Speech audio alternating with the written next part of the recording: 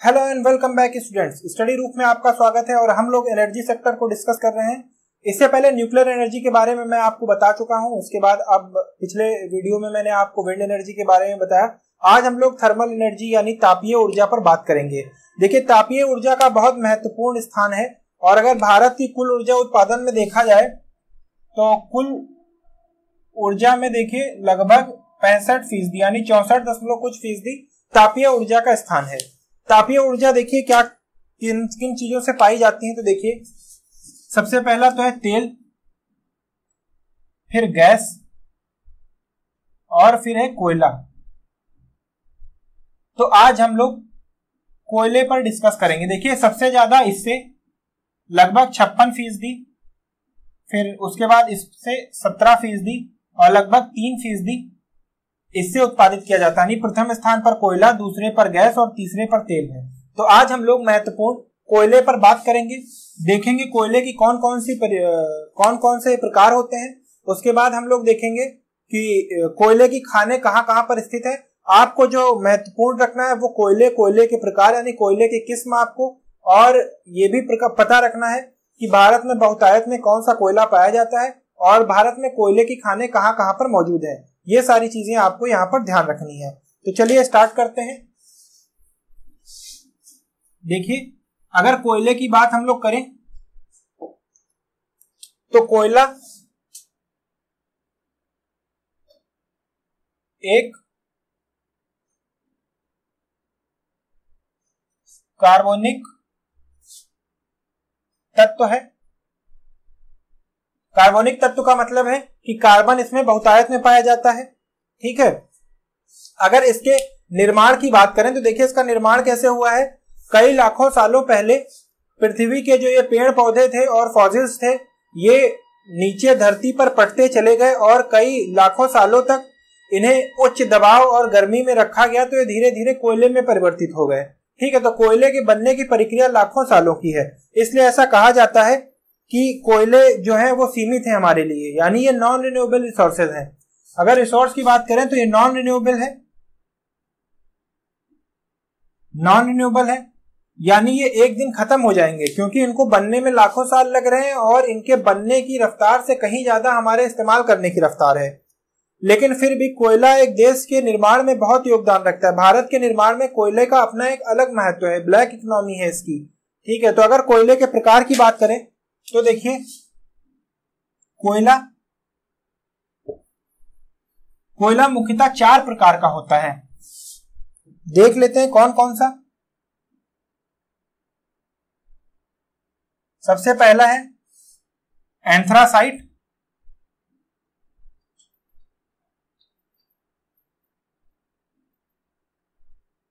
हिंदी में लिख देता हूँ, यह सर्वोच्च क्वालिटी का होता है। सर्वोच्च गुणवत्ता होती है।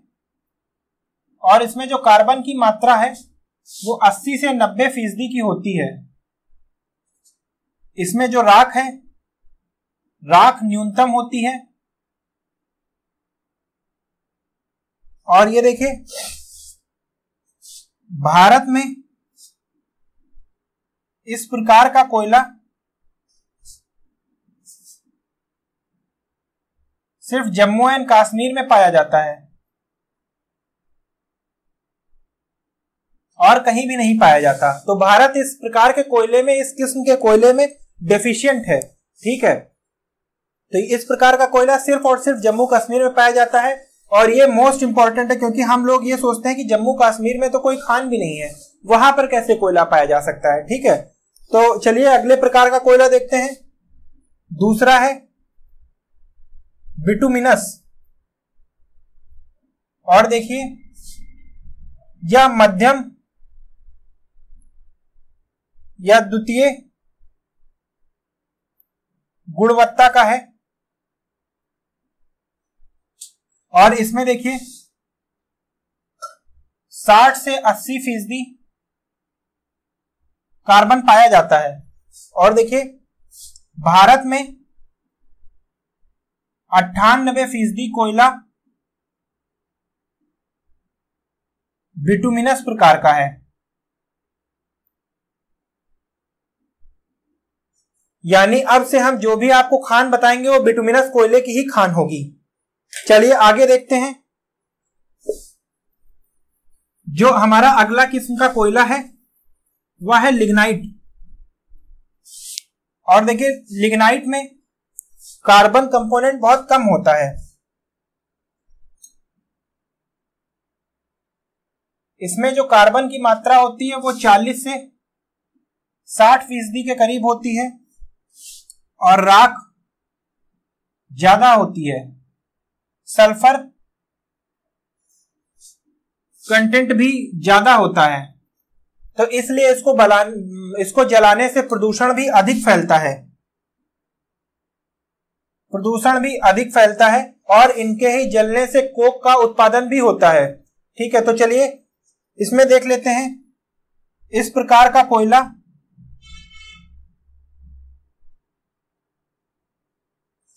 सत्तर फ़ीसदी। तमिलनाडु में पाया जाता है।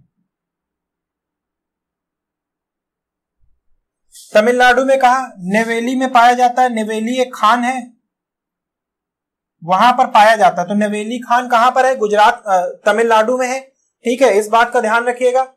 उसके बाद चौथे प्रकार का जो कोयला है, वो है पीट। और इसमें कार्बन 40 फ़ीसदी से कम होता है। इसलिए इसको उत्खनित करना हमारे लिए आर्थिक रूप से सही नहीं होता है। इसलिए हम इसको उत्खनित भी नहीं करते हैं। अब बात करते हैं कोयले की खानों के बारे में। तो देखिए, अगर हम कोयले की खान के बारे में बात करें तो भारत में विभिन्न जगह जगह पर कोयले की खाने हैं। आइए इसको हम लोग नक्शे के माध्यम से देखते हैं कि भारत में कौन सी कोयले की खान कहाँ पर है। हम लोग साथ साथ देखते भी जाएँगे। देखिए, भारत का कुछ ये नक्शा है।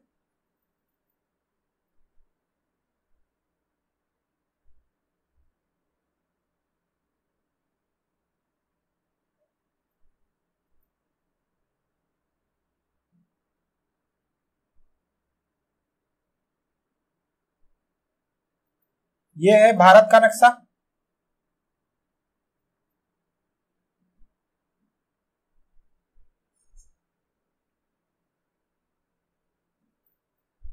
अब आइए देखते हैं, यहाँ पर कहाँ कहाँ पर कोयले की खाने हैं।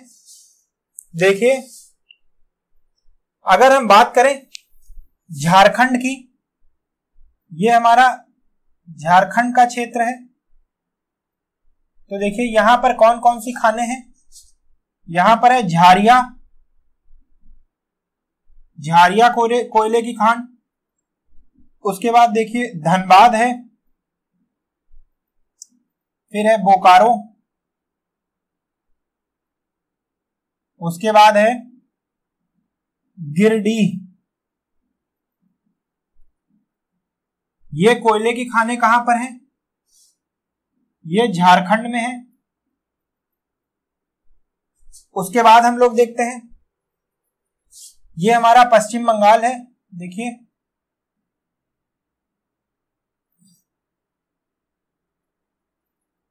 इस क्षेत्र में कौन कौन सी कोयले की खाने हैं यह भी देख लेते हैं।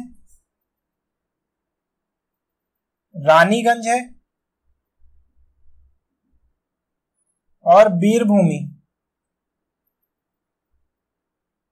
ये कहाँ पर है, देखिए। ये पश्चिम बंगाल में है। जहाँ पर रानीगंज में सबसे ज़्यादा कोयला उत्पादित किया जाता है। उसके बाद हम लोग देखते हैं छत्तीसगढ़ में। ये जो क्षेत्र है हमारा, ये छत्तीसगढ़ का क्षेत्र है। और इसमें देखते हैं कौन कौन से कोयले की खाने हैं। देखिए कोरबा और उसके बाद है?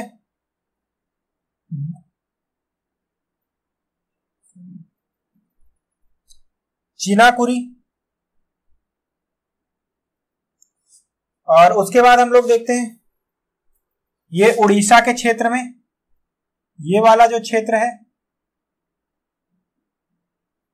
इनमें कौन कौन सी कोयले की खाने हैं? इनको भी देख लेते हैं तो देखिए। झारसुगोड़ा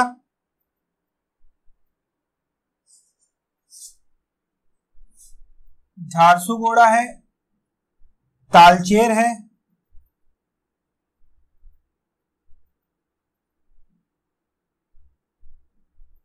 रामपुर, ये कुछ छत्तीसगढ़ के माफ़ कीजिएगा, ओडिशा के कोयले की खाने हैं। उसके बाद आगे देखते हैं। ये वाला जो क्षेत्र है, आपको पता होगा, अगर आप मैप पर देखेंगे तो आपको दिख जाएगा। ये वाला जो क्षेत्र है, ये तेलंगाना का है। और यहाँ पर देखिए,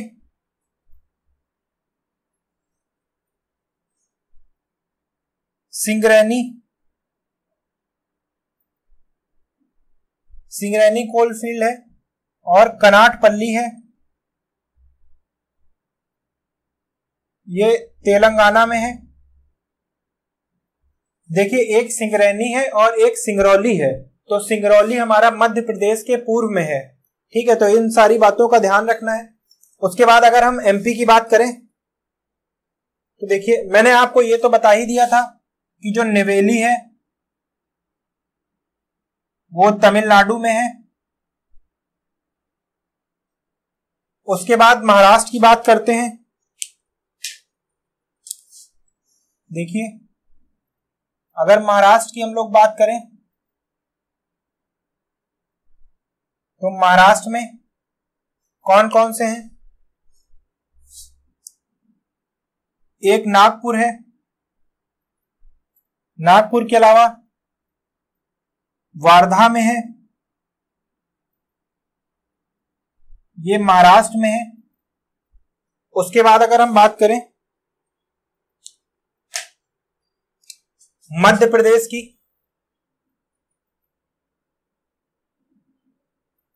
तो देखिए, हमारा ये जो क्षेत्र है, ये मध्य प्रदेश का क्षेत्र है। और इसमें देख लेते हैं, मैंने आपको पहले बताया था, सिंगरौली मध्य प्रदेश में है और उमरिया, सतपुड़ा, ये सारी जो खाने हैं, ये सारी खाने कोयले की खाने हैं। और दूसरी बात, जब मैंने आपको चट्टानों के बारे में बताया था तो उस समय मैंने आपको विस्तृत चट्टाने बताई थी, गोंडवाना की चट्टाने, धारवाड़ की चट्टाने। तो देखिए, कोयले की प्राप्ति हमें किन चट्टानों से होती है? कोयला हमें धारवाड़ क्रम की चट्टानों से प्राप्त होता है।